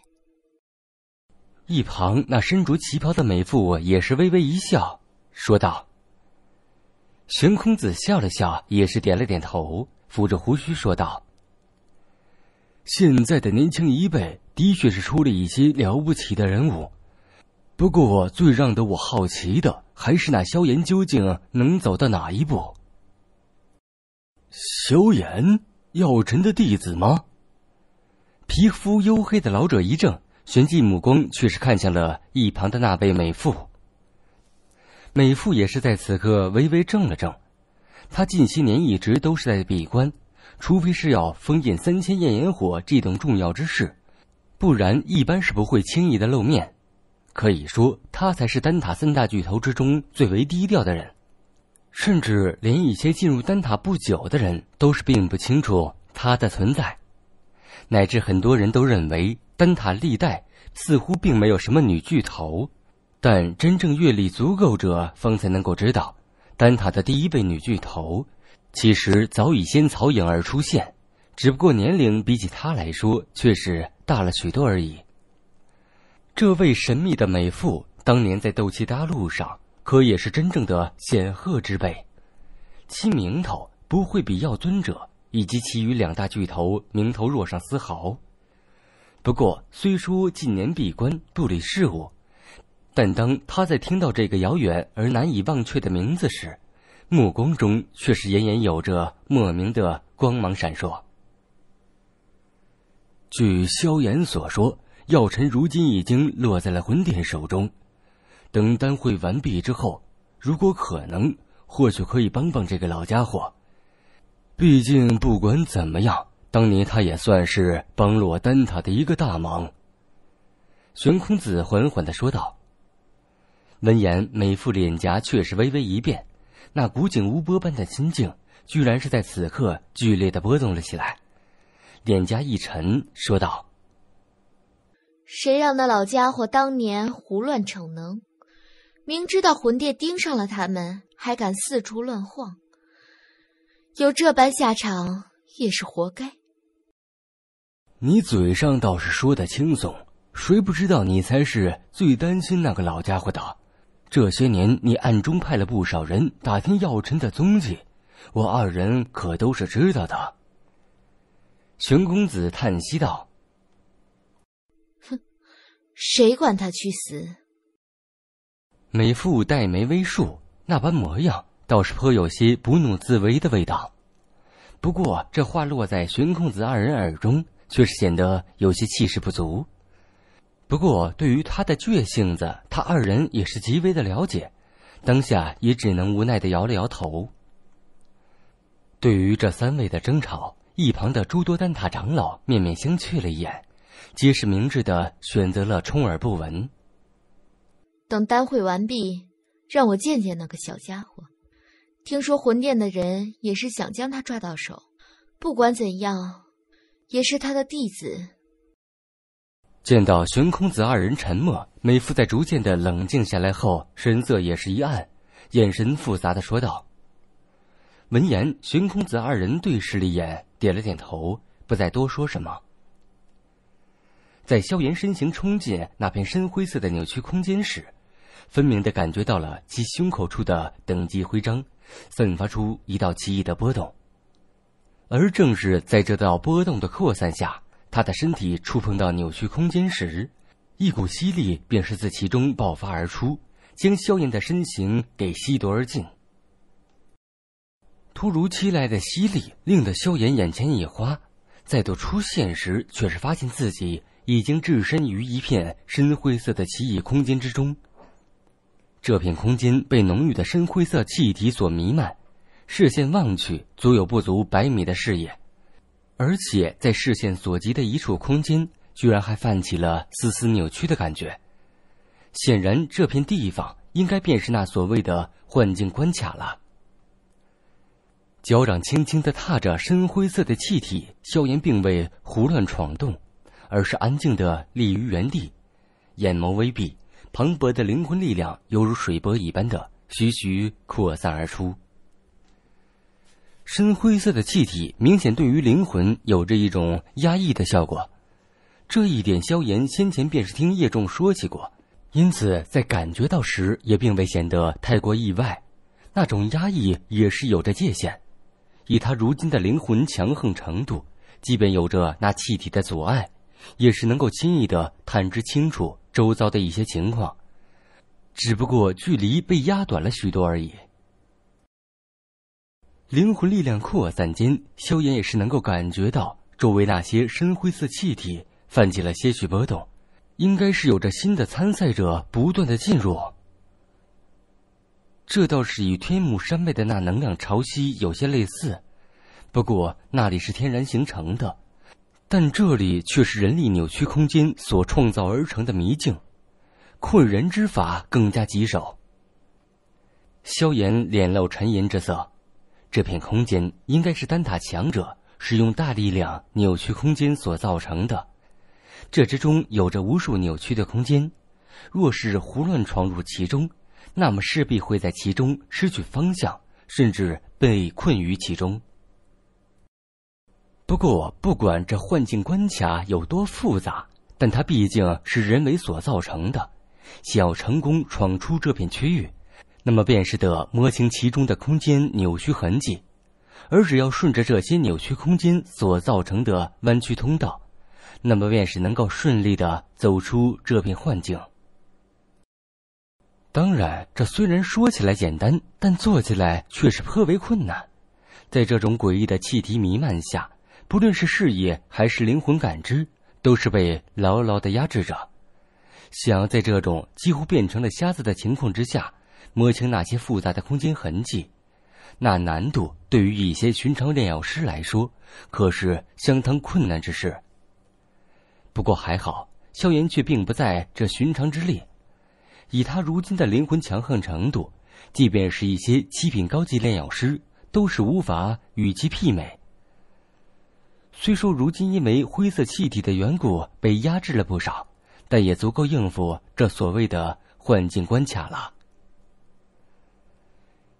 听得周围不远处响起了阵阵破风声，萧炎淡淡一笑，依靠着灵魂感知，他看见了不少冲进此处的炼药师。由于四处胡乱窜动，最后被困在一些扭曲空间之中，最后无法脱困。灵魂力量悄然蔓延，萧炎双手负于身后，脚掌轻踏着虚空，从容不迫的按照灵魂力量探测的路途缓步行去。这片扭曲的空间出人意料的宽广，再加上其中那些重重叠叠的空间褶皱，更是令得这里如同迷宫一般。稍不留神闯进那些扭曲的空间褶皱，便是会失去了继续参赛的资格。空间宽敞无比，但萧炎却是并未因此而产生急躁的心理，脚步依旧不急不缓。这一路而来，他看见过不少因为一时鲁莽而闯进空间褶皱的参赛者，因此自然是明白，在这种地方意气用事，那么等待他的绝对便是出场的悲惨结局。一路走来，萧炎也是遇见了不少真正的强者。令他有些心惊的是，这些人大多都是觉察到了他的灵魂感知，不过却并未过来与他交谈，而是极为戒备的退得远远的。对于这些人的表现，萧炎也并不感到意外，不过心中倒是颇为的咂舌。这参加丹会的炼药师，大多数人还真是拥有着不弱的实力，至少看这种情况。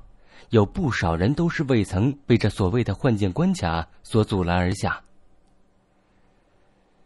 被深灰色气体弥漫的空间之中，萧炎脚步缓步向前。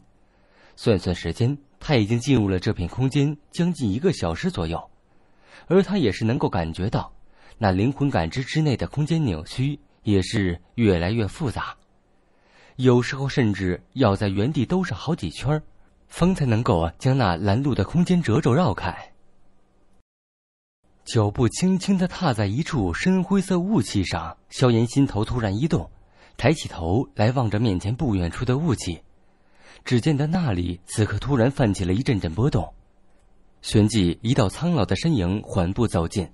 而当萧炎见到那苍老身影的脸庞时，心头却是猛地一震。老师。萧炎目光怔怔的望着面前那含笑的老者，那张熟悉的面庞，赫然便是那位魂殿擒获的药老。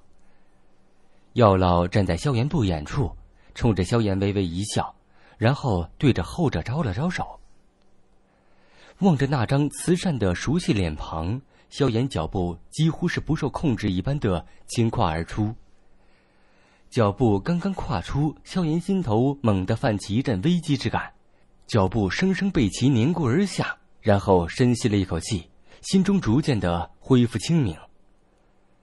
是幻象，这幻境关卡深处竟然能够伴随着人心中所想而产生幻象。萧炎眉头紧皱，望着那道苍老身影，好半晌后方才一声轻叹，袖袍挥动，一股劲风涌出，直接是将那道苍老身影震散。而随着这道身影的散去，立刻便是露出了其后隐藏的空间褶皱。而在这些空间褶皱中，隐隐弥漫着一种有些诡异的黑气。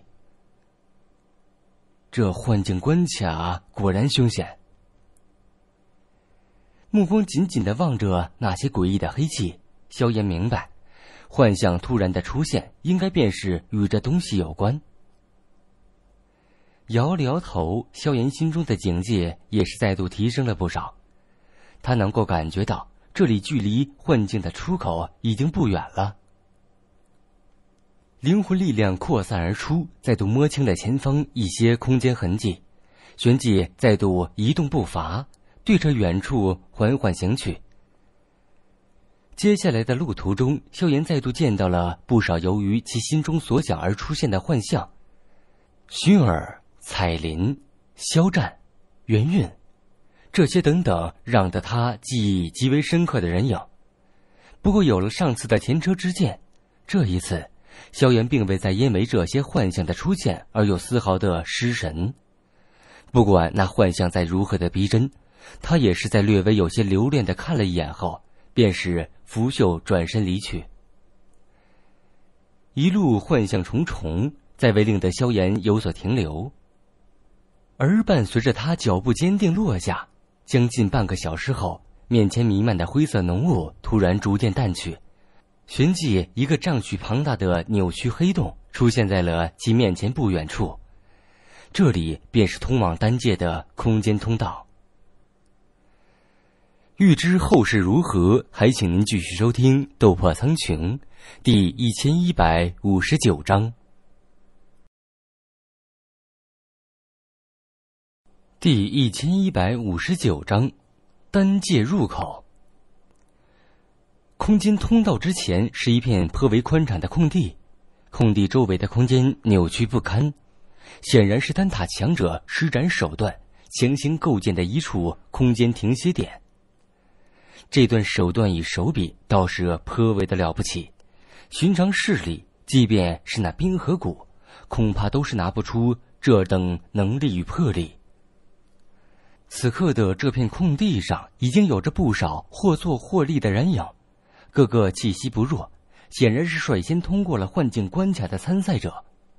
这些人影大多都是各自分散而开，彼此警戒对视，只有极少数的一些人。方才三三两两的凑在一起，不过他们望向其他人的目光也是充斥着警备之色。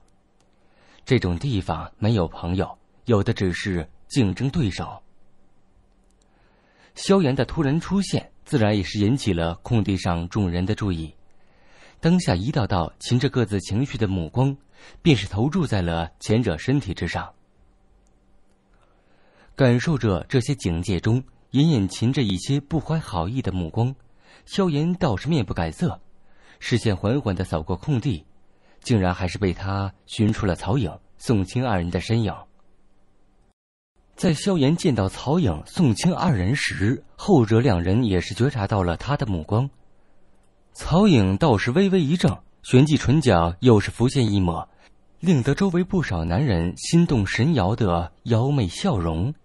而那宋清则是眉头不着痕迹的皱了皱，隔着一段距离对着两人微微一笑，但萧炎却未凑上前去，反而是退开一段距离，寻找了一处空地盘膝坐下。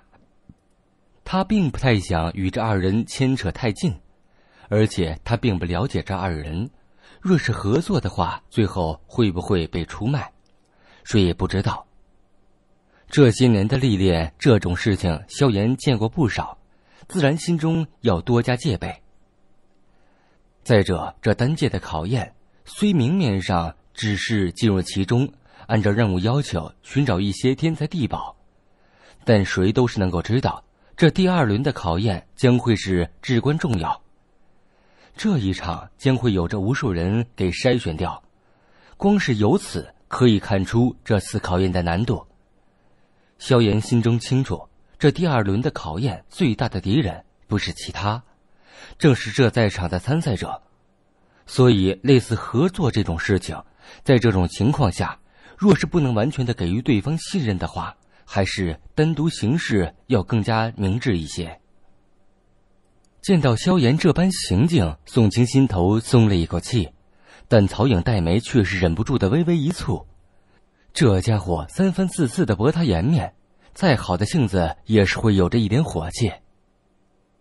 让你给我装，等进入了丹界，看你一个人怎么办事。曹颖银牙犹如小野猫一般的轻轻磨了磨，在心中有些愤愤不平的道。对于曹颖心中所想，萧炎自然是不知道。在盘腿坐下之后，他的目光便是转向前方不远处的空间通道。在那通道之前，有着一名身着普通衣衫的老者，在老者身下有着一头通体黝黑、宛如黑铁一般的巨龟匍匐，而老者便是盘腿坐于这巨龟背上。从老者胸口处的一枚徽章来看，显然他是丹塔的人员。不过，对于丹塔之内何时有这么一号人物，倒是真没有什么人听说过。萧炎的目光扫过这位懒散的老者，心头却是一凛，因为他发现居然完全看不透这位奇龟老者的实力。不愧是丹塔，果然是卧虎藏龙。在萧炎隐晦的收回目光时，那一直陷入假寐状态的老者却是猛地睁开双眼，而其睁眼的刹那，萧炎感觉到盘踞在眉心处的灵魂力量都是震动了一下。睁开眼的老者淡淡的瞥了萧炎一眼，然后目光扫了一眼场中，有气无力的说道：“时间差不多了，可以进入丹界了。每个进入其中的人员。”都会来我这里领一张任务药单，丹界的地图和一枚空间石。药单是你们必须在里面寻找的药材，只有将其上的药材收集齐全，方才能够顺利通过这一关。地图的作用我就不多说了，上面有着丹界的出口地点，你们在搜集齐全药材后，便将会赶往那里便可。至于空间石是保命用的，如果遇见性命攸关之时，可以将空间石捏碎，然后你便是会自动被送出丹界。不过捏碎了空间石，也就象征着你失去了继续参赛的资格，都懂了吗？说到最后，老者缓缓的抬了抬眼，说道：“闻言，众人皆是微微的点了点头。”能够以这种速度来到这里的人，没有一个人会是省油的灯，自然清楚面前的老人不是寻常老人。丹界之中，由于破败的缘故，并不适合久待，所以你们只有十天的时间搜寻任务上所需要的药材。药材辨认是炼药师的基本功，这个应该不会让人教吧？老者嘴角一撇，懒散的说道：“另外，丹界中虽然不适合人类居住，但对于一些魔兽来说却是洞天福地。经过这些年的繁衍，丹界中的魔兽也是极为的强横。若是遇见的话，便小心一些，别将小命给丢了，因为不会有人去救你们的。这一点，你们应该早有心理准备。”丹会可不是玩游戏，也不是一些寻常比赛，这里是真正的血拼竞技场。而能够从那些血拼之中站到最后的人，便是此次丹会的冠军。一将功成万骨枯，丹会也同样如此。话到最后，老者的声音明显变得冷厉了许多。废话也不多说了，已经做好心理准备的便上来领取东西。现在若是要退出的话，可还来得及。七龟老者目光缓缓扫过四周，但却并未有一个人退出。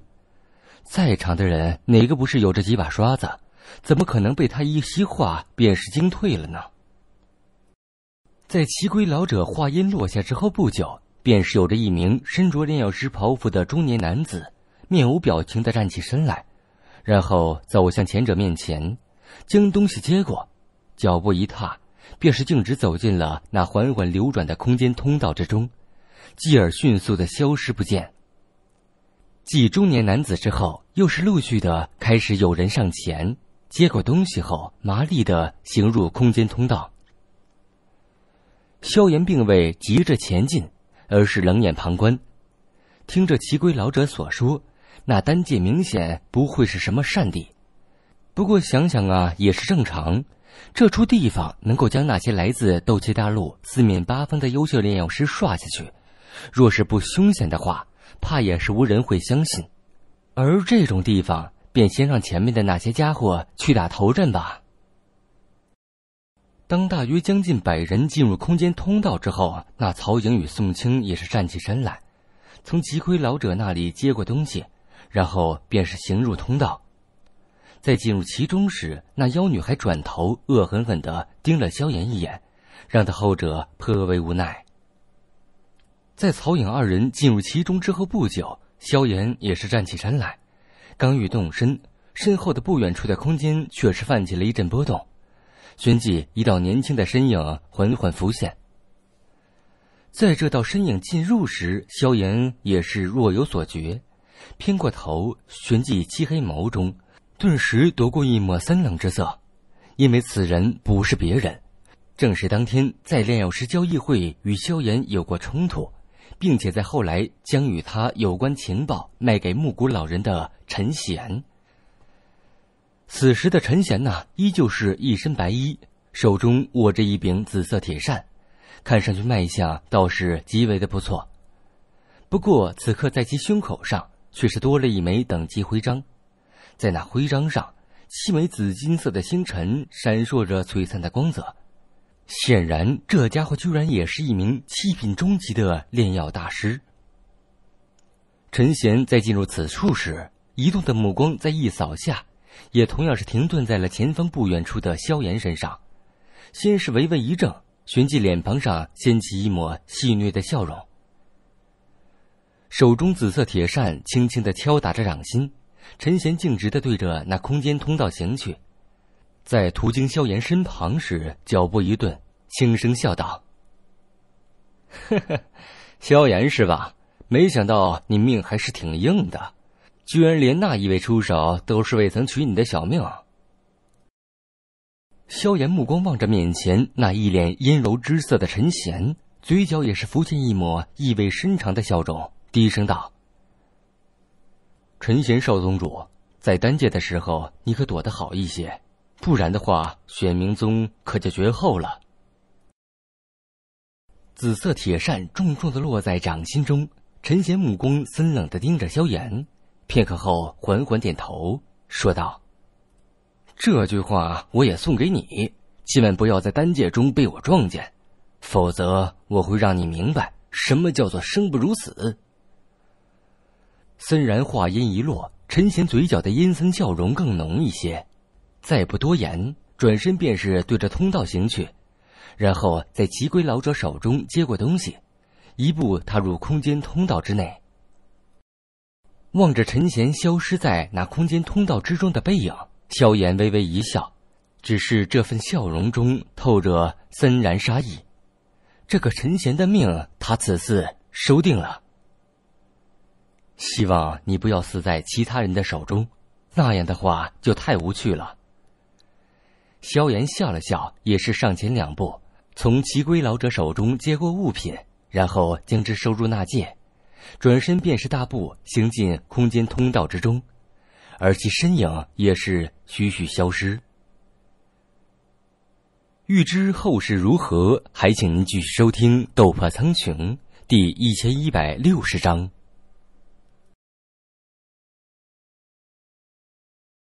第一千一百六十章。千年地黄精，这是一片荒凉的平原，大地之上尽是黄土之色，偶尔会有着些许绿荫点缀，释放着一点点的生机与活力。平原之上，偶尔会有着一些小型魔兽暴窜而出，带起一缕黄烟，然后消失在远处。荒凉平原的寂静无声持续了一段时间，虚无空间突然一阵扭动，旋即一道身影在空间之中闪躲而出。从空间中夺出的身影，自然便是那进入空间通道的萧炎。在面前这片荒凉平原出现在其视野之中时，他眼神之中也是微微一怔，心神一动，身体便是这般悬浮在了天空上，并未鲁莽的落下地面。这里便是丹界吗？萧炎举目四望，刚好是能够在平原的尽头看见一些山脉的轮廓。当下眉头微皱，低声喃喃道：“这里的能量倒是格外的充裕，不过能量中似乎有些狂暴因子，难道这便是丹界破败的原因吗？”萧炎手掌在面前虚空抓了一把，旋即若有所思：“开辟空间是斗圣强者方才具备的通天之力，当然，即便是成功的将空间开辟了出来，也是需要一直的维护。”不然，开辟的空间迟早都会逐渐衰败。沉吟了片刻，萧炎便是抛开了心中的念头，手掌一握，一张羊皮纸便是出现在了其手中。这便是进入通道时那奇龟老者给予他的药方，必须将其上所记载的那些天才地宝齐齐弄到手，方才能够算作顺利了通过此次的选拔。丹塔的这招倒真是不错，完全便是把这些参赛者当做是为他们寻找药材的苦力啊！萧炎无奈的摇了摇头，目光却是转向了羊皮纸上，片刻后眉头便是忍不住的微微皱了起来。羊皮纸上所写的天才地宝数量并不多，仅仅三种而已，但这三种却是令得萧炎有种头痛的感觉。龙心九叶枝。魔血灵果浆生仙草，嘴中将这三种天才地宝名字念叨了一遍，萧炎脑袋都是忍不住的大了一圈。这些东西的名头，萧炎听说过，因为他们的名头皆是极为的不弱。身为炼药师，怕没有谁不知道这些东西的珍贵。这丹塔也太狠了点吧！丹界想来面积不太小啊。想要在其中寻找这三种极为难得的天才地宝，谈何容易？萧炎苦笑了一声，手掌一晃，又是将那丹界的地图给取了出来。摊开地图，却是见到地图上三处的地狱被画上了一个红色的圆圈。这难道是这三种东西存在的地点？见到那三处被红色圆圈勾上的地狱，萧炎一怔，旋即若有所思。如果真是如此的话，那倒是好办了一些。在萧炎沉吟间，这片平原的空间再度出现了阵阵扭曲，旋即将近十几道身影几乎同时间的从空间中夺出，然后落在地面上。这些人脚掌刚刚落地，那看似沙丘般的地面，一条十几丈庞大的巨蟒闪电般的窜出，狰狞血嘴直接是对着一位炼药师脑袋是咬了过去。突如其来的变故也是令得那名炼药师微惊，不过却并未如何的慌乱。一声冷喝，一股雄厚的斗气劈炼爆夺而出，狠狠的击中在巨蟒的头顶上，强猛的劲道将那巨蟒的脑袋砰的一声便是震得爆裂而开。将巨蟒一击击杀，那名炼药师脸庞上方才浮现一抹得意，然而还不待他松一口气时，眼前却是突然一花。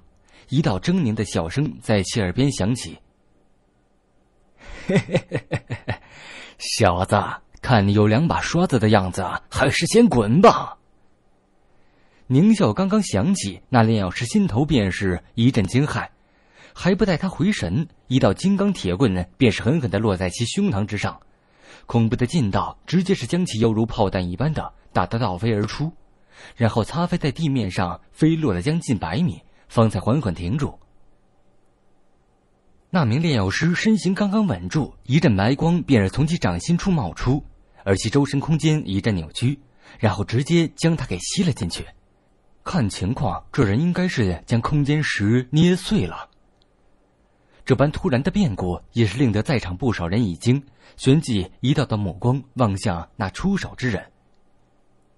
出手的人是一名身着炼药师袍服的大汉，此人满脸横肉，一看上去就不是什么好货色。在其肩膀处扛着一根丈许长的金刚铁棍，此时那铁棍上还染着些许鲜血。嘿嘿嘿嘿，跑的倒是挺快呀！铁棍大汉望着先前那炼药师消失的地方，不由得咧嘴一笑。然后，凶芒闪烁的目光再度转向其他人。见到这满脸横肉的家伙目光盯过来，在场的其他一些参赛者脸色也是微变，旋即皆是心头升起一些戒备。一些人甚至已经是将武器给拿了出来。这种地方，他们都清楚，其他的所有参赛者都是自己的竞争对手，能够解决的一个，那么自己便是会多出一份机会。见状，那大汉不屑的撇了撇嘴，手中染着血迹的铁棍在面前狠狠的挥了挥，然后直接将那条庞大的巨蟒击飞而出。而随着巨蟒的飞出，沙丘下顿时出现了一个凹陷的土坑，土坑内一块足有小孩人头大小的深黄色根茎出现在了众人目光之中。地黄精。望着那块人头大小的深黄色根茎状的东西。周围顿时响起了一道道惊呼声。萧炎的目光望着那块深埋地底的深黄色根茎，眼中也是夺过一抹惊异之色。这地黄精是一种凝聚大地之力而成型的罕见药材，练功时若是能量暴动的话，这地黄精以及他所炼制的一些丹药，能够起到很不错的抑制效果。眼中惊异夺过，萧炎目光却是顿在了那深洞处。若有所思。百年地黄精一般只有拳头大小，而且还是颇为稀少的存在。没想到这丹界中的地黄精，居然是成长到了这种地步，当真是让人惊异呀！想来至少是达到了千年岁月。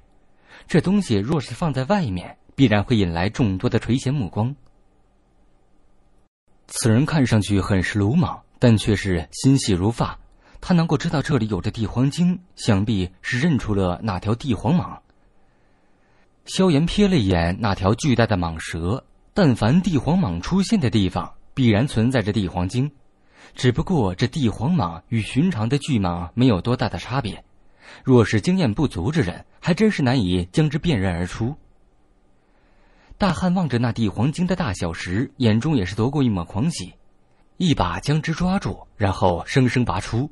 咧嘴一笑，目光一扫周围那些视线炙热的人，脸色一沉，冷喝道：“不想死的就给我滚远点儿！”听得他这般冷喝，其余的十几名炼药师脸色也是微微一变，但在见到那大汉的一脸凶悍之色后，却是不敢多说什么。先前此人的狠辣出手，可一直是让他们记忆犹深。在迟疑了片刻后，其他的炼药师终于是选择了退去。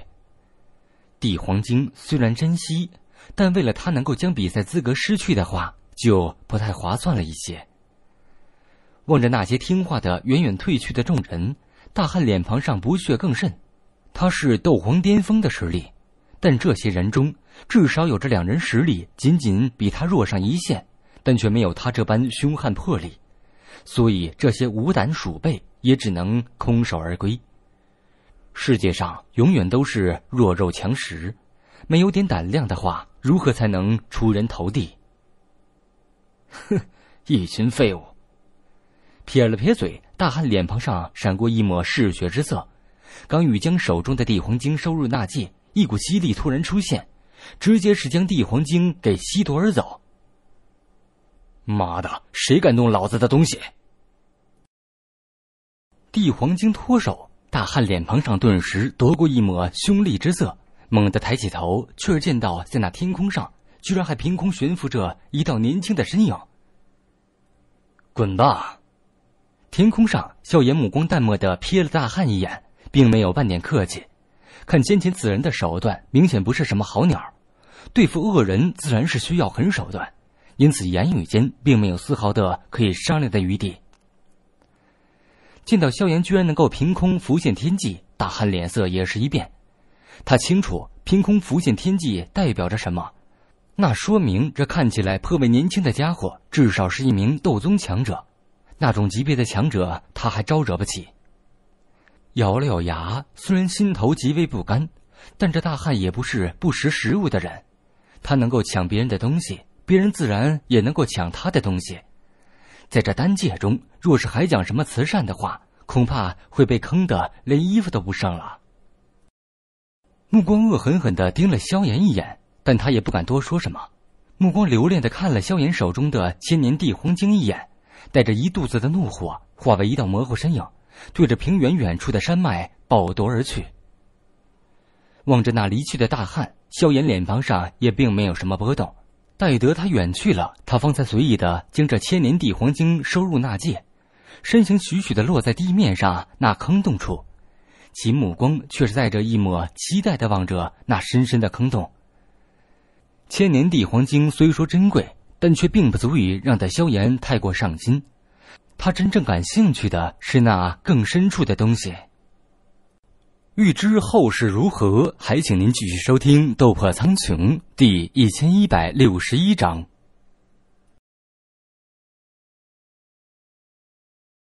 第一千一百六十一章，地心魂髓。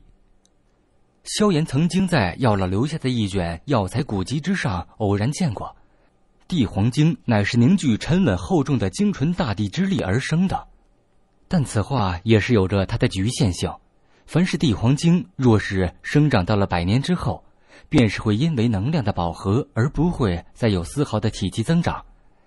也正因为如此，百年以上的地黄精方才会显得那般稀有。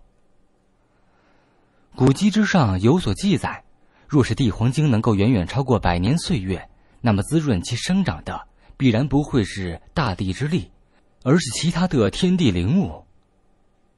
萧炎在第一眼看见这千年地黄晶时，便是心中明白，在这地黄晶地底之下，一定有着其他东西，而也正是这东西，方才将这地黄晶滋养到了如今的地步。哈哈，真不愧是丹界。萧炎忍不住的笑了笑，手掌猛地一屈。然后对着那深坑狠狠一握，一股吸力暴涌而出，大地的泥土暴夺而出，然后被萧炎随手甩开。在萧炎这等暴吸之下，那土坑也是越来越深。但至于萧炎意料之中所想的其他灵物，却是并没有出现。难道古籍中所说的是假的？见到挖了将近五六丈之深，居然还没有见到东西。萧炎眉头也是一皱，话语之中倒是没有了先前那种信心。毕竟千年地黄经，他也是第一次遇见而已。心中多了一份迟疑，萧炎下手也是变得缓慢了一些。如此又是挖了将近一丈之多，终于是无奈的摇了摇头。然后就在他准备放弃时，目光却是突然瞥向了一旁被他从地底下掏出来的泥土之上。当下一道惊疑声传出，蹲下身来，萧炎手中抓了一把泥土，入手处一片湿润，湿气弥漫间，居然透着一股奇异的能量。觉察到这些泥土中的怪异，萧炎眼中也是夺过一抹喜色，这片地底果然是有些问题。有了这般发现，萧炎当下再度站起身来。双手屈卷成爪形，然后闪电般的对着深空之中抓去，而随着其双掌的舞动，那巨坑也是变得越来越深了起来。深坑在萧炎坚持不懈的挖掘下，大约五分钟左右后，那柔软的地底终于是传出了一道低沉的闷哼声，而萧炎的精神也是在此刻一震，身形一动，便是夺下深坑。一朵碧绿火焰缓缓的在深空中升起。柔和的火芒将深空照耀的犹如白昼。萧炎身形落在深坑之底，蹲下身来，袖帕一挥，一股劲风将那层泥土掀飞而去，旋即露出一方雪白色的玉石。萧炎的目光顿在那块雪白色的玉石上，旋即眼眸微眯。这是地心玉母。地心玉母，一种由大地之力凝聚无数岁月方才成型的神奇玉石。由于大地之力那特殊的沉稳与厚重，这块地心玉母对于修炼者来说，简直就是万金难求的宝贝。在修炼或者炼丹时，有着一席使用地心玉母所铸的坐垫，将会对体内狂暴能量起到极为不菲的镇压之效。有了这东西，走火入魔的几率也将会被减至最低点。这种效果倒是与萧炎当年取得青莲地心火时得到的那青莲座差不多。不过真要说起来，还是这地心玉母要更加胜一筹。果然是个宝贝。萧炎嘿嘿一笑，手掌搭在露出地面的那节地心玉母上，然后双腿微屈，一声厉喝。手掌猛地一抽，顿时泥土四溅，那地心玉母直接是被萧炎生生的在地底之中给抽了出来。将这地心玉母完全抽出，萧炎方才发现，这东西大约半丈之高，宽约一臂之长，这般面积的地心玉母在外界几乎是很难看见之物。有了这东西，日后修炼的时候，倒是能够起到事半功倍的效果。望着地心玉母的体积，萧炎也是忍不住的点了点头，抽回手掌，却是发现手掌上布满了一种粘稠的淡淡玉液。这，望着这粘稠的玉液，萧炎也是怔了怔，片刻后猛地回过神来，以其定力，都是眼瞳一缩，旋即目光骤然转向地心玉母，喃喃道。这地心玉母之内，居然已经生出了地心魂髓。地心玉母极难成形，而至于这所谓的地心魂髓，更是极为罕见之物。这一刻，萧炎双眼之中也是忍将不住的涌上一抹难以掩饰的炙热，手掌之上碧绿火焰急速凝聚，然后化为一柄薄薄的火刀，最后闪电般的从地心玉母表面一刀夺过。火刀轻飘飘的从地心玉母表面横切而过，一片大约拇指厚的玉片便是脱落而下，露出了其中的核桃大小的孔洞。孔洞之内隐隐有着一股极淡的白色雾气渗透而出。萧炎深吸了一口气，顿时感觉到灵魂深处响起了一道无声的舒畅呻吟。萧炎面露惊喜，手化火刀。闪电般的急速舞动，而随着其每一次手刀的落下，那地心玉母便是会有着薄薄一层玉片脱落而下。当地心玉母的高度被萧炎生生的削断了一半左右后，一个大约脑袋大小的玉坑终于是出现在了其视线之中，而他的目光也是在这一刻瞬间凝固在了玉坑之中那不足半指深的白色液体之上。果然。果然是地心魂髓。萧炎目光怔怔的望着那粘稠的白色液体，眼中的欣喜在这一刻猛然暴涨到了极致。地心魂髓，一种极为罕见的天才地宝，而且这东西对于炼药师来说，更是拥有着令人疯狂的吸引力，因为这东西能够断魂。所谓断魂，便是锻炼、淬炼之意，也就是说。这地心魂髓能够洗脱灵魂之铅华。对于这地心魂髓，萧炎老早便是听过其大名了，但这些年中却并未真正的遇见过。而此次在这丹界中，总算是碰见了这桩大福缘。这东西对于如今的萧炎来说，是真正的有着极大的作用。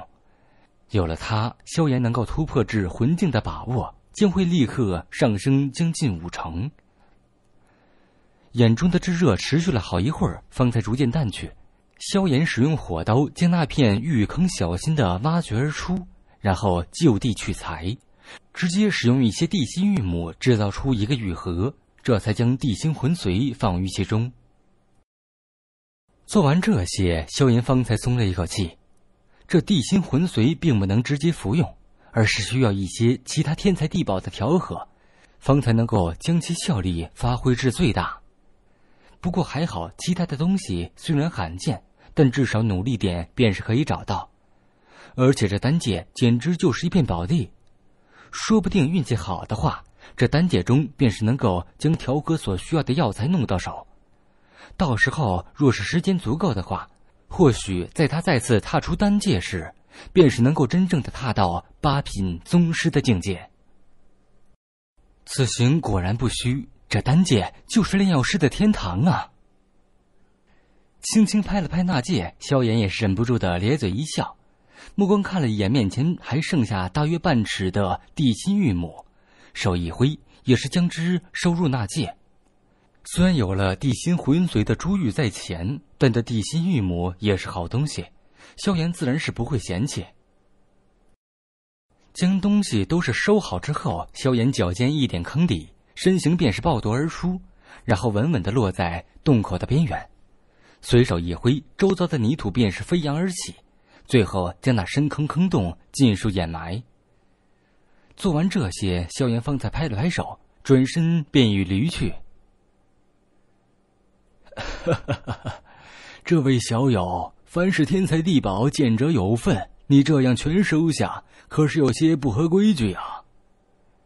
就在萧炎刚刚转身间，一道笑声却是突然响起。前者微偏过头。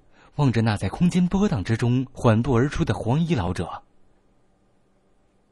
躲够了？我还以为你会一直藏下去呢。